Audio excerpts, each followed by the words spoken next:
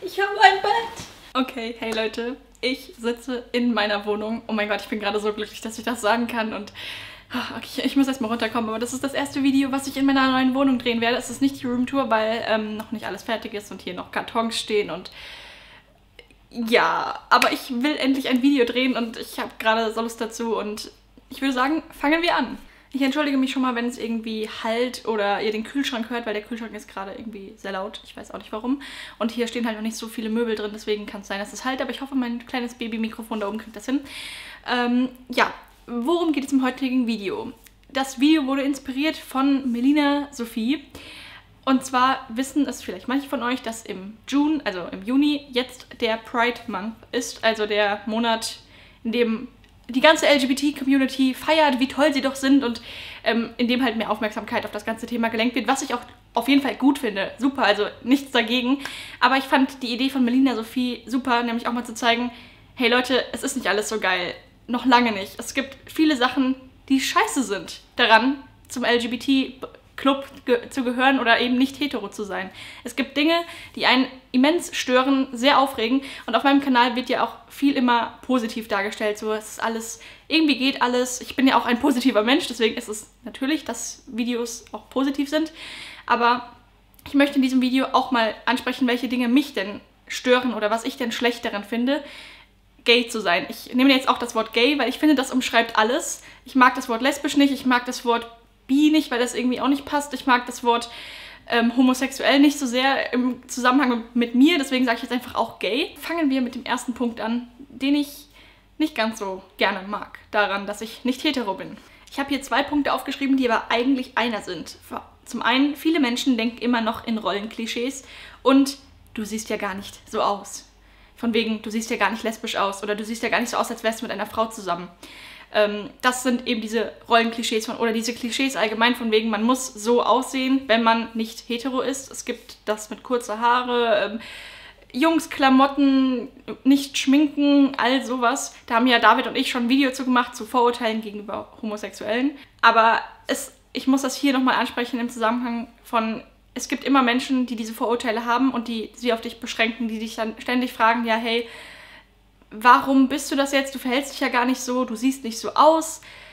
Darauf folgt, wenn ihr in keiner Beziehung seid und auf der Suche nach einem Partner seid, dann wird das sehr schwer sein, weil viele eben davon ausgehen, dass man es euch ansehen muss. Das heißt, wenn ihr feminin ausseht, ähm, werdet ihr von den meisten Leuten als hetero angesehen. Was wirklich ein Problem in der Partnersuche ist. Das kann ich sehr gut nachvollziehen, wenn ich jetzt Char nicht hätte. Also erstmal, Char sieht ja auch total hetero aus. Und ich würde mich selbst jetzt auch nicht so beschreiben, dass ich jetzt die Klischee-Lesbe bin, wie sie im Buche steht oder wie sie in manchen Serien gezeigt wird. Deswegen hat man erstmal dieses Problem, erkannt zu werden, auch untereinander. Also es gibt zwar immer die, die Rede von dem Gay da, aber ich würde nicht behaupten, dass ich den habe. Ich habe mich da letztens, ähm, das muss ich schon anders mal erzählen, richtig hart blamiert, weil ich dachte, ich hätte einen richtig harten, super guten Gay da und dann war die Person hetero und das war sehr peinlich. Aber ja, wisst ihr, was ich meine? Eben dieses, man wird ständig in irgendwelche Klischees reingedrängt oder ständig gefragt, warum man denn diesen Klischees nicht entspricht. Das stört mich einfach. Dann eine Sache, die jetzt vielleicht ein bisschen ernster ist und die mich persönlich auch sehr traurig macht. Denn das war einer der Gründe, warum ich am Anfang gesagt habe, okay, nein, ich möchte nicht ähm, homosexuell sein oder ich möchte nicht auf Frauen stehen. Ich möchte eine Familie haben. Ich möchte Kinder haben. Ich liebe Kinder. Es geht nur Mann und Frau und ein Kind von meinem Mann und mir. Und das war lange Zeit ein Punkt, der sich eben so dazwischen gestellt hat, zwischen mich und mein inneres Coming-out vor mir selbst, weil ich das nicht wollte. Und es ist auch jetzt noch so, dass ich es sehr traurig finde, dass es noch nicht möglich ist oder eigentlich, ich denke mal, auch in nächster Zeit nicht möglich sein wird, dass zwei Frauen ein Kind zeugen können. Also wisst ihr, dass von Char Anteile an diesem Kind sind und von mir, dass man zusammen ein Kind hat. Klar, eine von uns kann ein Kind kriegen, die andere adoptiert ist. Aber dann ist es immer, hat das Kind immer nur Bestandteile von einer Person.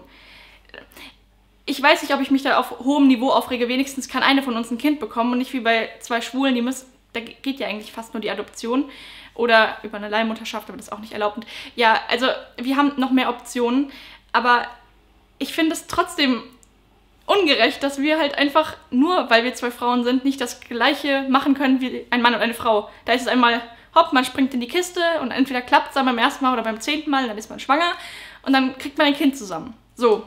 Nein, bei uns läuft das Ganze so ab, dass wir erstmal schön viel Geld zahlen dürfen. Pro Versuch kostet das Ganze nämlich 1000 Euro. Also ich rede jetzt von künstlicher Befruchtung. Das klappt aber nicht beim ersten Mal. Das macht man dann öfter und keine Ahnung, es gibt so viele Komplikationen, man muss dauernd zum Arzt, man verliert so viel Zeit und so viel Geld.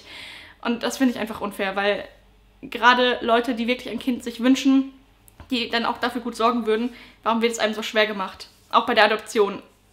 Da, rede ich jetzt mal gar nicht drüber, das hatten wir ja schon in dem Homo-Ehe-Video, wie schwer es einfach ist für ein homosexuelles Paar, ähm, ein Kind zu adoptieren. Und das ist eine Sache, die mich immer noch sehr aufregt, die mich immer noch sehr traurig macht, dass Cha und ich zusammen nie ein Kind haben werden, wo wir sagen können, ah, das hat deine Augen und das hat das von dir. Versteht ihr? Ich weiß, man kann einem Kind so viele andere Sachen noch mitgeben, wenn man es erzieht. Über Erziehung kannst du auch richtig viel machen. Auch wenn du ein Kind adoptierst, kannst du von beiden Leuten ihm Sachen mitgeben. Aber vielleicht versteht ihr mich, dass es eben nicht zu 100% so ist, als wäre es von uns beiden zusammen biologisch ein Kind. Ja, vielleicht versteht ihr das auch nicht, aber mich stört es eben. Oh, jetzt ein Punkt, weswegen oder der zum Teil auch ein Grund ist, warum ich nach Frankfurt gezogen bin. Ähm, gerade in Kleinstädten wird man immer wie ein Alien angeschaut. Ich habe hier meinen Haargummi zwischen den Fingern, ich spiele immer damit rum, egal. Wird man immer wie ein Alien angeschaut, man fühlt sich unterbewusst nie 100% sicher und macht sich über alles Gedanken, egal ob man sich küsst, Händchen hält und so weiter. Also ähm, für die von euch, die hetero sind, ich beschreibe das mal so, ähm, Ihr wacht morgens auf und habt einen richtig dicken, fetten Pickel auf der Lippe, auf der Stirn, irgendwo im Gesicht. So. Ihr seht diesen Pickel, er tut weh, er pocht, ihr spürt ihn die ganze Zeit. So, ihr geht raus, ihr müsst in die Schule. Ihr denkt die ganze Zeit, oh mein Gott, alle sehen diesen Pickel. Ihr versucht ihn irgendwie zu verdecken, aber im Gesicht geht das nun mal nicht. Ich meine, ihr könnt euch eine Mütze aufsetzen, aber ihr wird irgendwie immer sichtbar sein. Und ihr spürt die Blicke, so von wegen, also man guckt halt einfach, wenn jemand da einen Pickel hat. Man redet da nicht drüber, sondern denkt sich vielleicht eher, oh der Arme, aber man guckt.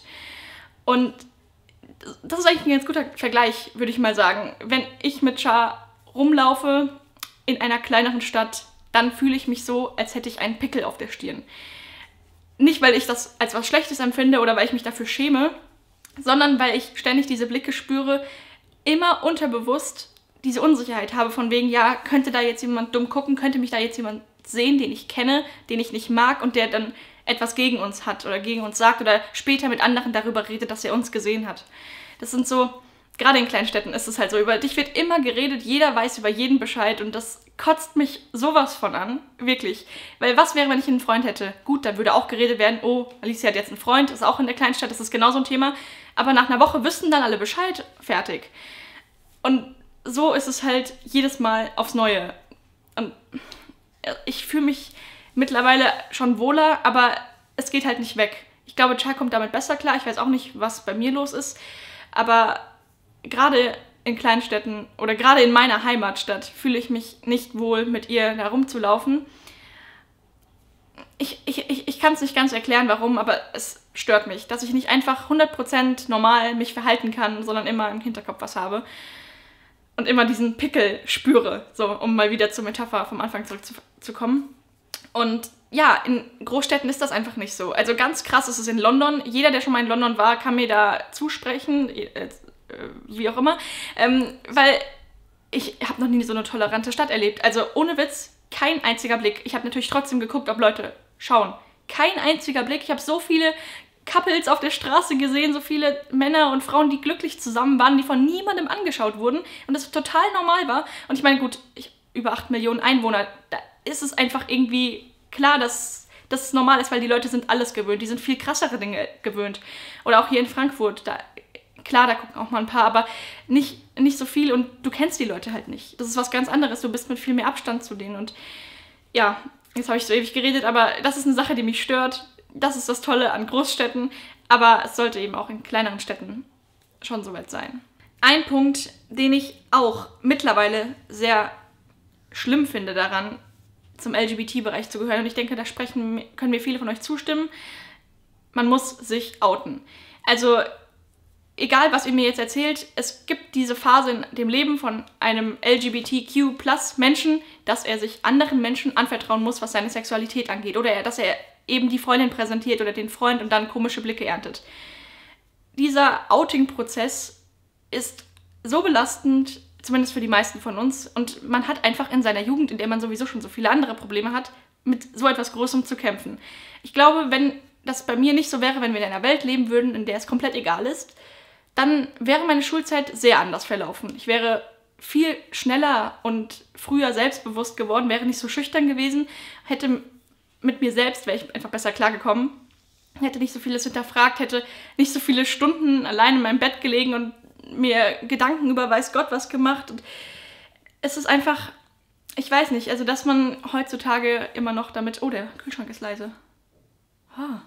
Dass man sich heutzutage einfach immer noch so viel Gedanken darüber machen muss oder so vielen Leuten das erklären muss. Und es hört ja nicht auf. Ihr outet euch ja nicht einmal und dann ist es fertig. Nein, jede neue Person, die ihr kennenlernt, irgendwann geht das Thema immer auf Beziehungen oder in wen bist du verliebt? Also ihr kennt das ja. Und ihr müsst euch immer, einfach immer wieder outen und immer wieder erklären, immer wieder die gleichen Fragen. Ich beantworte diese Fragen ja auch gerne.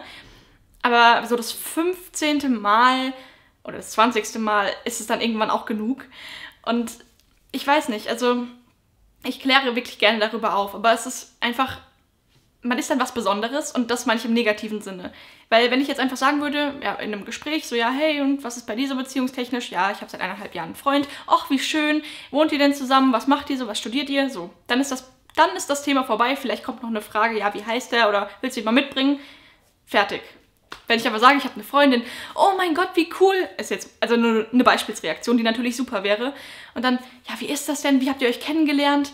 Ähm, wie lange seid ihr schon zusammen? Und ist es komisch, mit einer Frau zusammen zu sein? Werdet ihr auf der Straße angeguckt? Und sag mal, wer ist eigentlich der Mann? Und oh, diese Frage, oder ich will jetzt nicht irgendwie intim werden, aber wie funktioniert bei euch der Sex? Ist es irgendwie besser? Oder Och, zwei Frauen, du hast ja so ein Glück, ihr versteht euch ja so viel besser als Frau und Mann. Ich glaube, wir haben, wir haben vielleicht andere Probleme. Also wir verstehen uns vielleicht auf anderen Ebenen, wo Mann und Frau sich nicht verstehen, besser. Dafür haben wir eben an anderen Stellen Probleme. Es ist nicht so, dass nur weil wir zwei Frauen sind, dass wir uns besser verstehen. Es ist halt, diese typischen Fragen so in einem Gespräch jetzt dargestellt. Ich glaube, ich muss einfach mal so ein Gespräch mit Char nachspielen. So die, ähm, typische Sätze, die sich LGBT-Leute anhören müssen oder vor allem zwei Frauen, die in einer Beziehung sind. Bei zwei Männern sind es dann vielleicht andere Fragen. Wenn ihr so ein Video mal sehen wollt, dann schreibt es in die Kommentare, dann zwinge ich Char hier neben mich aufs Bett, weil mir fallen gerade so viele Sachen ein, die man ständig zu hören bekommt. Und ja, kommen wir zum letzten Punkt. Das ist ein Punkt, der mich persönlich ja sehr bewegt oder sehr beschäftigt. Und zwar, es gibt viel weniger LGBT-Charaktere in Büchern, Filmen und Serien. Und ihr könnt mir erzählen, was ihr wollt, von wegen, ja, es wird ja immer besser, es gibt ja jetzt hier überall diese LGBT-Charaktere. Das finde ich super, auf der einen Seite. Auf der anderen Seite gibt es aber jetzt auch die, boah, ja, ist jetzt nicht mal genug, muss jetzt in jeder Serie eine scheiß Schwuchtel drin sein.